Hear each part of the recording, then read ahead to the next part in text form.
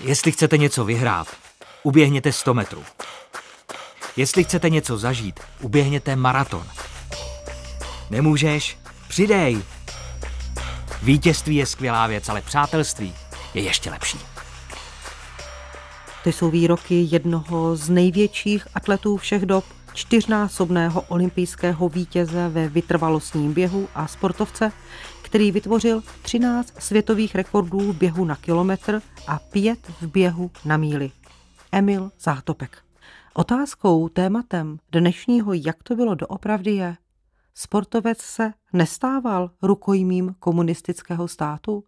Ze studia zdraví Ivana Chmel-Denčevová. Emil Zátopek se narodil 19. září roku 1922 v Kopřivnici. Byl už od dětství nasměrován ke sportu? Otázka pro hosta pořadu, historika doktora Jana Kalouse. Nebyl. Narodil se do chudé rodiny, měl sedm sourozenců. Později však sám říkával, že běhal odedávna.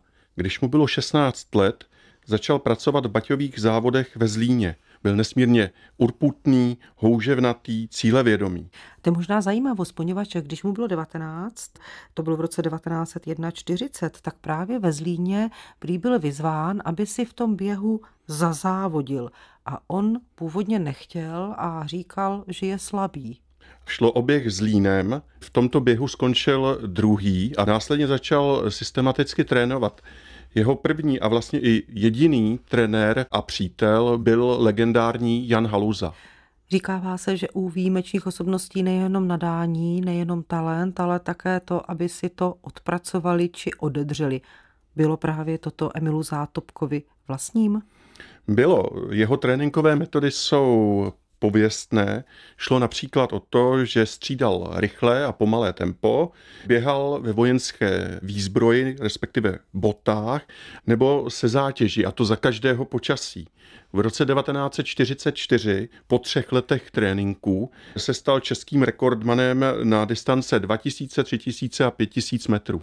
Když končí druhá světová válka, tak je Emilu Zátopkovi 23 let a už, jak víme, je renomovaným a úspěšným sportovcem. Vstupuje do armády, v roce 1946 se zúčastní mistrovství Evropy a skončí v mezinárodní konkurenci pátý. Na olympijských hrách v Londýně v roce 1948 vyhraje běh na 10 kilometrů a v běhu na 5 kilometrů končí druhý. Jak změnil únorový převrat v roce 1948 svět sportu v tehdejším Československu? I tam došlo k zásadním změnám. Například k vyhazování komunistům nepohodlných osob. Sport byl kontrolován komunistickou stranou a státní bezpečností. Sokolové, kteří otevřeně protestovali během svého sletu v červnu 1948 proti Gotwaldovi na tribůně, když odvraceli hlavy, neunikli pozornosti a následně byly sokolské jednoty zlikvidovány. A jako všude se i zde začal aplikovat onen pověstný sovětský vzor. Zasáhl ale nějak osobně únor 48 a ty nově zavedené pořádky i do, řekněme, osobního života Emila Zátopka? Svým způsobem ano. Jeho trenér Jan Haluza byl po únoru 48 státní bezpečností zatčen, mučen a v politickém procesu odsouzen na 6 let jeho přátelství se Zátopkem ale zůstalo zachováno i poté, co byl propuštěn z vězení. All eyes are on the great Czech runner Zatopek, number 203. He's been well there from the start, and now to the front he goes with that devastating stride that took him to victory in the 10,000 meters. If he can win this race, he'll register the first double scored in these events since 1912. And now, with amazing suddenness, Zatopek, who looked right out of the race, comes after him with an amazing burst over the last 300 yards. Even Rife can hardly believe it. But Zatopek's lightning spurt has just come too late, and Rife beats him in a breathtaking finish. Běžecká kariéra Emila Zátopka začala souběžně s nástupem komunistů k moci a tvrdě pracující a trénující sportovec z dělnické třídy se tak na dlouhou dobu stal symbolem režimu. Zátopek byl navíc vojákem, členem KSČ a dokonce spolupracoval s STB. V roce 1950 již jako vysoce profilovaný olympijský vítěz podle článku v Rudém právu schválil justiční vraždu Milady Horákové. Režim ho miloval, podporoval a zátopek, který se o politiku moc nezajímal a chtěl hlavně závodit, šel prostě z dobou.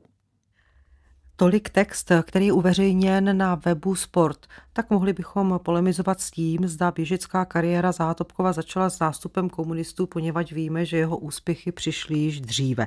Ale jak to měl s komunistickou stranou Československa? Do komunistické strany vstoupil po druhé světové válce. Snad ho k tomu vedly nuzné poměry, ze kterých pocházel, i skutečnost, že členem komunistické strany byl za první republiky jeho otec. Nepřišlo mu na tom nic zvláštního, protože, jak říkával, vždy se cítil levicově orientovaný. A co spolupráce ze státní bezpečností, jak jsme slyšeli? Vojenská kontrarozvědka vedla svazek v letech 1954 až 1960 pod krycím jménem Macek. Vzhledem k tomu, že svazek byl v 80. letech zničen, není možné učinit si jasnější představu o jeho obsahu. Některé materiály z něj se ale dochovaly v pozorovacím svazku, vedeném později pod krycím jménem Atlet, a to v letech 1974 až 1976. Další informace z daného webu byla, že dle rudého práva tehdejšího hlavního deníku v komunistickém Československu Emil Zátopek schválil justiční vraždu Milady Horákové. Dodejme političky, představitelky Národně socialistické strany, která byla ve vykonstruovaném politickém procesu zavražděna oběšením. Opravdu se tak vyjádřil Zátopek? 10. června 1950 vyšel v Rudém právu pod názvem Rozsudek vynesl všechen československý lid text podepsaný kapitánem Emilem Zátopkem. Nikdo v něm sice není jmenován, ale míří obsahově jasně na Miladu Horákovou. My jsme také slyšeli z daného webu, z textu tam uveřejněného, že Zátopek se o politiku moc nezajímal, chtěl závodit a šel s dobou. Bylo tomu tak? Bylo, Zátopek byl opakovaně komunistickým režimem využíván a představován jako československý sportovní stachanovec. Opakovaně jezdil na různé debaty, líčil v nich výhody socialistického zřízení a chválil poměry v Sovětském svazu. Nevadilo mu tedy hrát roli, kterou po něm režim požadoval. Je s tebou náš lid a Zátopek letí před jako první, už je několik metrů a Emil je v hlásíme lidu naší republiky. Československý reprezentant, stávní kapitán Emil Zátopek, Olympiáda, která nám, přeživším, zůstala trvale v paměti, protože přinesla výkon českého sportovce tak mimořádný, že je zřejmě nepřekonatelný. Byly to 15. olympijské hry v Helsinkách v červenci a srpnu 52 a tři zátopkova vítězství v bězích na dlouhé tratě a ještě jedno navíc, když si zátopek vynutil účast z politických důvodů diskriminovaného běžce Stanislava Jungvirta. Zátopkův maraton, první v jeho životě, uchvátil nejen Finy, nejen Čechoslováky, ale celý svět. Nepředstavitelnou únavu zdolával zátopek v běhu slovy, která nebyla pro veřejnost, ale jež dokazují, jak člověčí je vrcholný sportovní výkon. Píše historik Robert Kvaček ve své studii nazvané Sport jako objekt zájmu historiků. Byl to obdivuhodný a dodnes nenapodobitelný výkon. Navíc Dana Zátopková na stejné olympiádě zvítězila v hodu oštěpem. Jak se dívat na tvrzení, které jsme slyšeli, že Zátopek si vynutil účast politicky diskriminovaného běžce Stanislava Jungvirta? Komunistický režim nechtěl Jungvirta na olympijské hry do Finska pustit, a to kvůli politickým potížím jeho otce. Zátopek ale podmínil svůj odjezd do Helsinek přítomností Jungvirta ve stejném letadle. Byla to od něj odvaha, hrdinství, on sám tím pravděpodobně také riskoval. Ano, jistým způsobem to byl odvážný postoj, ale Zátopek si to mohl dovolit. Co bylo v životě Emila Zátopka dál? V roce 1956 podstoupil operaci Kýly. Následovala rehabilitace. Potom se šest týdnů pokoušel dostat znovu do formy. Na olympijských hrách v Melbourne v roce 1956 v maratonu doběhl šestý. V roce 1958 pak ukončil sportovní kariéru.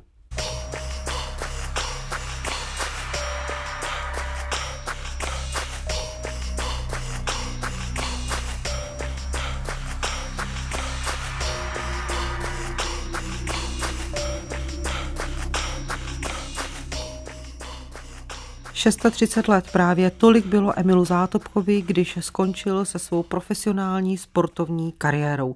Mohlo by se zdát, že komunistický stát by si měl takového sportovce mimořádně hýčkat. Ale jak už to v totalitních státech bývá, státní bezpečnost hlídá téměř každého a téměř všude. A tak hlídali také Emila Zátopka, či sledovali. Dokladem je agenturní zpráva, která má datum 11. května roku 1966 a je označena slovy přísně tajné. Plukovník Zátopek je velmi chytrý člověk, u kterého není předpokladu, že by někdy zneužil cesty do zahraničí k tomu, aby tam zůstal. Je v něm dobré jádro vlastenectví, má osobní názory na politické otázky, má řadu přesvědčivých argumentů, které se dozvídá od našich nejvyšších funkcionářů, od vyslanců v zemích, které navštíví a podobně. Například v době, kdy se na složce probírali teze k 13. sjezdu KSČ, tak se plukovník Zátopek přihlásil do diskuse s tím, proč tak podporujeme rozvojové země, když to nakonec jde vniveč. Byl zván na různé sportovní akce, například Mezinárodním olympijským výborem ve Francii nebo ve Finsku. Přichází rok 1968, pověstné pražské jaro, kdy se část společnosti snaží o nastolení socialismu s lidskou tváří. Jak právě toto období vnímá sám Emil Zátopek? Stotožnil se s reformním proudem uvnitř komunistické strany. Britský list The Sun uveřejňuje interview svého pražského dopisovatele s Emilem Zátopkem. Vítěz olympijských her 1948 v Londýně a v Helsinkách 1952 v rozhovoru prohlásil, že je srdcem komunistou, ale že komunismus se musí zakládat na lásce k bližnímu a nikoli na moci a teroru. Dopisovatel se ptal Zátopka na okolnosti jeho podpisu na politickém manifestu 2000 slov, který podepsalo kromě něho 69 československých osobností. Zátopek prohlásil, že jeho manželka Dana se bála a prosila ho, aby tolik nemluvil, protože přijdou-li rusové, bude s každým, kdo manifest podepsal, zle. Ale on Zátopek se nebál, protože si váží spisovatelů, kteří sestavili manifest a když ho požádali, aby jej podepsal, neváhal. V další části interviewů Zátopek vyprávěl o svých cestách po světě jako sportovec stalinského režimu v Československu. Prohlásil, že kamkoliv šel, byl smutný, protože věděl, že reprezentuje špatnou vládu. Nikdy se prý neskrýval se svými pocity. Informace z jednoho z archivních dokumentů státní bezpečnosti. Tak 2000 slov bylo mimořádně silné prohlášení. Připomeňme, že autorem byl Ludvík Vaculík. To, že ho Emil Zátopek podepsal, znamenalo, že byl tak odvážným, tak se stotožnil Zátopek modifikoval své názory tehdy i později, takže když mu to vyhovovalo, tak byl pro program Pražského jara, později, když se situace změnila, tak své postoje revidoval. V říjnu roku 1968 probíhají slavné olympijské hry v Mexiku. Připomeňme si fenomenální úspěch gymnastky Věry Čáslavské. Také v Mexiku proběhla její svatba s dalším olympionikem Josefem Odložilem. Jak se vyvíjely Zátopkovy názory v tomto období, v jaké pozici byl ve společnosti? Zátopek eh, okupaci v srpnu 1968 tehdy ještě odmítal. Dokonce navrhoval, aby Sovětský svaz byl z účasti na olympijských hrách v Mexiku vyloučen. Dodejme, že postupná likvidace všeho, co souviselo právě s Pražským jarem, postupovala velmi rychle. Terčem likvidace se stávaly také nejrůznější časopisy. A právě tehdy vzniklo prohlášení na obranu svobody tisku. Je z 9. listopadu 1968 a bylo v něm mimo jiné napsáno. Tisková svoboda byla jednou z nejdůležitějších součástí polednového vývoje a její zbytek je symbolem toho, co z polednového vývoje zbývá. Přijdeme-li o něj, ztratíme naději, že cesta k humanitnímu socialismu v naší zemi bude pokračovat. Víme, že útok na reportéra a na celý náš tisk není inspirován v Praze, ale v Moskvě. Ptáme se naší vlády, kam až bude ustupovat. Ptáme se, zda je ochotna překročit všechny hranice ústupků, které může lid naší země přijmout bez ztráty nadsti. Ptáme se, zda z vůle těch, kteří jsou ostatním národům ochotni ponechat jen jakousi okleštěnou suverenitu, začne definitivně platit v naší zemi na místo vůle jejího lidu. Mezi signatáři daného prohlášení na obranu svobody tisku jsou jména Dana Zátopková, šachový mistr Luděk Pachman a olympionik, legenda Emil Zátopek. O dva měsíce později, bylo to pak v lednu roku 1969, se na Pražském a Václavském náměstí upálil Jan Palach. Jeho smrt šokovala celou tehdejší společnost a probudila vzdor vůči okupantům. Podle nařčení dogmatického komunisty Viléma Nového se měl Zátopek podílet na protestu, který vyústil ve smrt Jana Palacha. Šlo o zneužití takzvaného studeného ohně. To znamená, že záměrně to byla vlastně devalvace Palachova mučednického činu? Ano, Tezi o studeném ohni Vilém Nový rozvedl na schromáždění Svazu Československo-sovětského přátelství v Libni 19. února 1969 a o den později na veřejné schůzi poslanců s voliči v Českolipském hotelu Merkur. Tentokrát přidal s odvoláním na údajné dokumenty ministerstva vnitra konkrétní jména osob, které měly mít přímou souvislost se smrtí Jana Palacha. Spisovatelé Vladimír Škutina a Pavel Kohout, studentský představitel Lubomír Holeček, sportovec Emil Zátopek a šachista Luděk Pachman. Uvádějí autoři knihy Advokáti proti totalitě. Spolu s rodinou a se všemi jmenovanými se odhodlal podat na komunistu Nového soudní žalobu. Byl tedy jedním z iniciátorů sporu.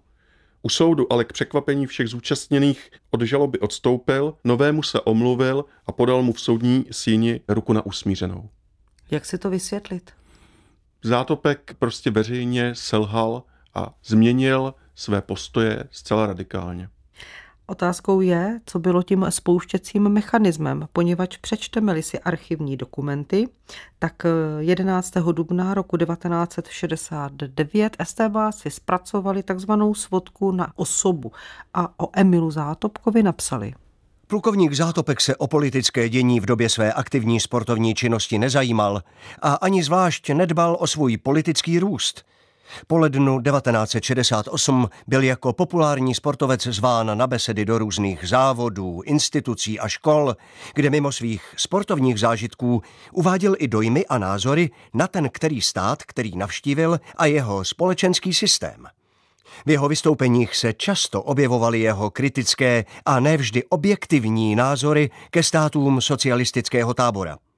V tomto směru byl a je do současné doby ovlivňován známým šachistou Luďkem Pachmanem. Některá jeho vystoupení a prohlášení nejsou v souladu s linií polednového vývoje, ale naopak stěžují situaci a vyhrocují požadavky a tendence extrémních sil.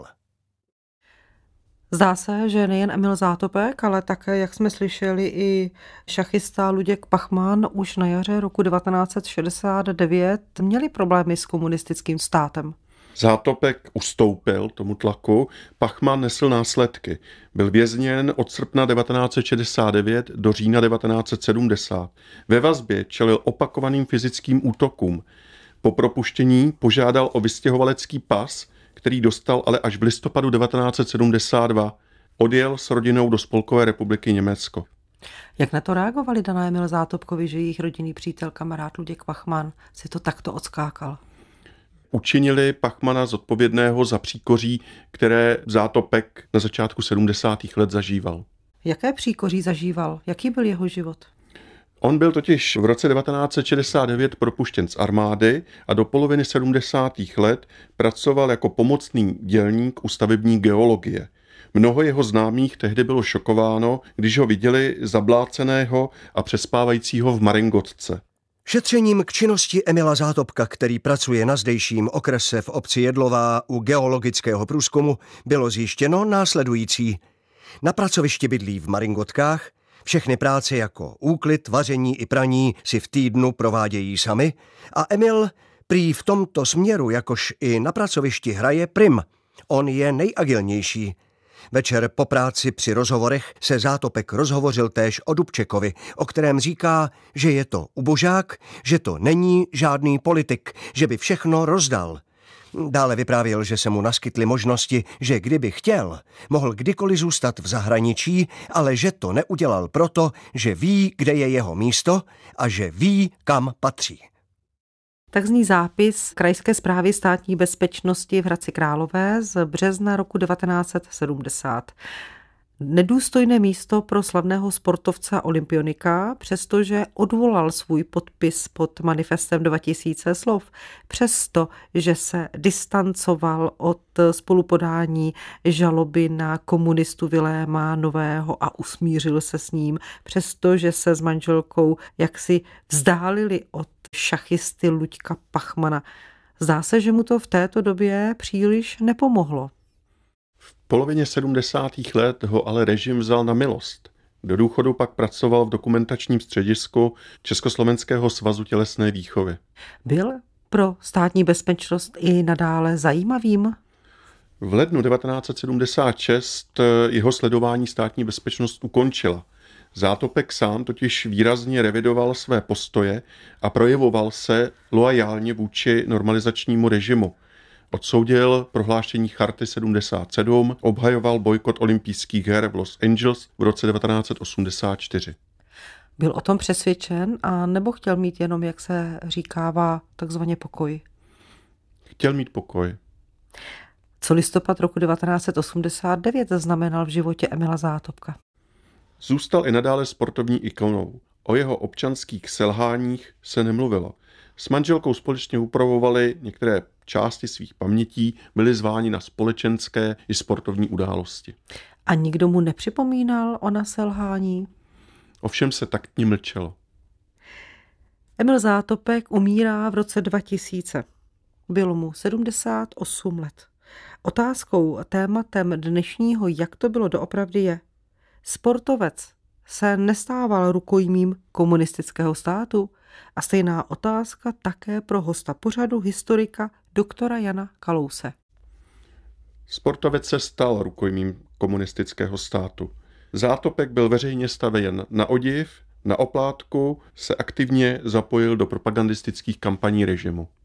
Ovšem, přiznejme si, měl jinou šanci, když chtěl sportovat měl a mohl si vybrat. O to výraznější je srovnání právě třeba s lidmi, jako byl Luděk Pachman nebo Věra Čáslavská, kteří si zachovali názorovou kontinuitu a čelili i nepřízní režimu.